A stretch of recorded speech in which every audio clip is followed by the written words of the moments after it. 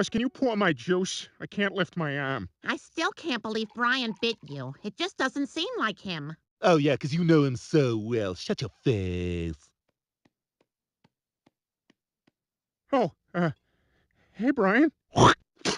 Get out of that chair. Leave the eggs. But this is my breakfast.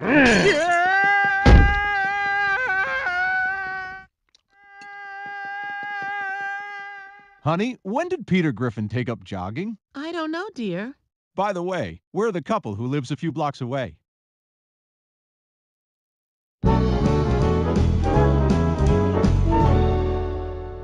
We now return to an 80s teen movie at a realistic high school. You going down at that karate tournament? I don't think so. You guys do karate? You're both losers. Uh, morning, sir.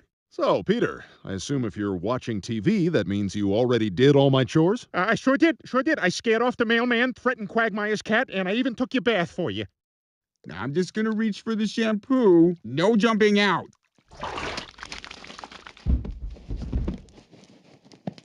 Ah, he's got Rupert. Hey, drop it, drop it, drop it. All right, I need you to buy a birthday present for my friend Jeff. He likes the Packers and surfing. Enough is enough, Peter. The dog's not in charge of this house. First thing tomorrow, I'm taking Brian to obedience school so we can get him back under control. You know, sending him to school wouldn't be the worst idea. He might even enjoy it. I know I had a blast in college. Man, I love college. So many chicks, so many parties. Yeah, totally. I'm supposed to meet the RA for coffee later in the common room, but until then, I'm just going to walk around with my shower caddy and see what people wrote on their whiteboards.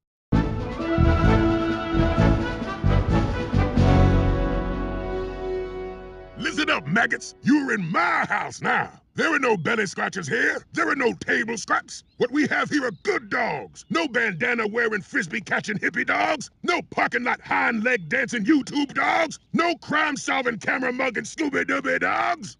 Oh, no Scooby Doo, huh?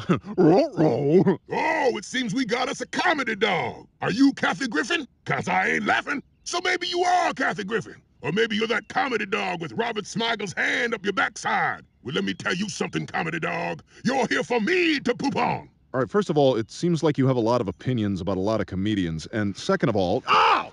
That hurts. That's right, silent and terrible, like the artist. I watch a lot of TV and movies. I am your media savvy worst nightmare. Now down, on all fours like the rest of them. That's right, we got ways to break your spirit. In fact, you seem like a prime candidate for the chair.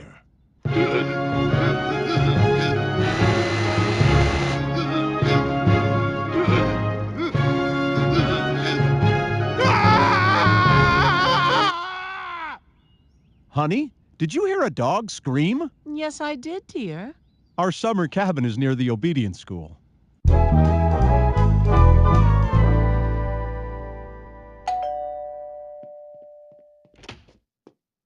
Hey, Brian, you're back. Come on in. uh, in inside? Are, are, are you sure? Yeah, what, what, what do you think? I'm gonna make you stay in the yard? Get in here. Sir, if it takes the rest of my life, I will repay you. Who's this puss? Oh no, no, no. I'm I'm not a cat. I'm I- I'm a dog. I'm your pet, and and I'm just happy to be here. Brian, what did they do to you at that school? You, you're so submissive. Yes, looks like someone's gone at him with a whip. That that is that is a perfectly valid way of saying that. Bravo, master. Master? And a surprisingly quick erection for Stewie.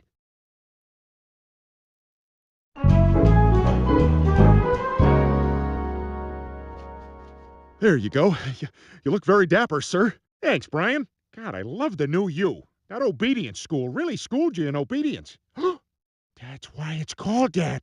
Permission to take fast, tiny bites of my own tail, sir? Granted. You are wearing a bow tie? What's the occasion? No occasion, Lois. I just want to piss a couple of guys off. What the hell are you doing? You think you're better than us? No way you tied that on your own.